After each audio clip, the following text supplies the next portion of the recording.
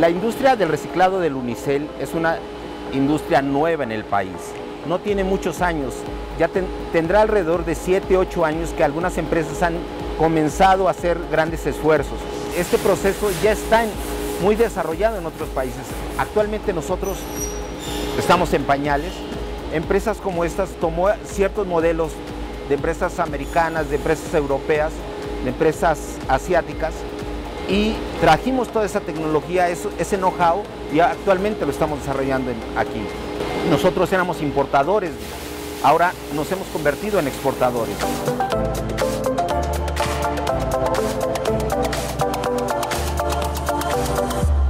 El, unicel es un polímero que viene del poliestireno. Este poliestireno se, le inyecta aire y se le conoce como poliestireno expandido.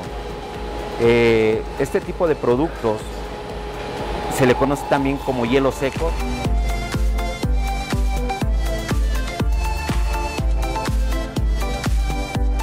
Eh, la utilización del unicel tiene muchas ventajas. Primero es un material ligero, que, ayuda a que es térmico, que es inocuo, que no genera este, bacterias, que no genera hongos. Entonces es ideal tanto para alimentos, es ideal para, eh, para empaques, es ideal para la construcción, aligera las cargas, es térmico, también es negocio.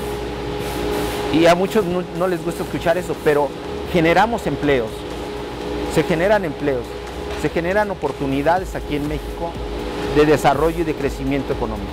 Entonces, yo creo que todos nos beneficiamos en ese sentido. La técnica del reciclado de unicel se compone de cuatro pasos. Acopio. Se recibe el unicel postconsumo, vasos, platos, desechables y residuos de la construcción por particulares o empresas. Compactación. El material pasa a la máquina de termodensificado, donde a través de calor el aire es extraído del unicel. Se producen bloques de 20 kilogramos equivalentes a 7.500 vasos.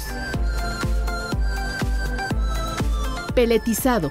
El bloque es transportado al área de transformación a materia prima, donde pasa por un proceso de molienda y extrusión. Después de este, el resultado son perlas de materia prima o pellets. Los nuevos productos.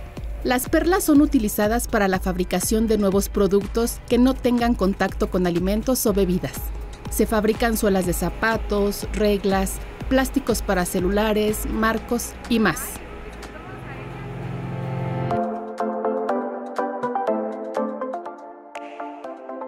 Prácticamente hoy en día todos los plásticos se pueden reciclar. En el caso del unicel, si tú ves que tiene algún, ¿cómo se llama? El número 6 eh, en, la parte, en alguna de las partes del producto plástico, quiere decir que se puede reciclar. No hay, no hay pierde, simplemente hay que ponerlo en el lugar adecuado, separarlo, no, que, no, que, no tenga, que no se contamine. Realmente si nos interesa el medio ambiente tenemos que reciclar. Comencemos con nosotros mismos, separemos lo que nos toca. Hoy tenemos que generar una cultura por el medio ambiente, por nuestras familias, por nuestros hijos, por los, que vienen atrás.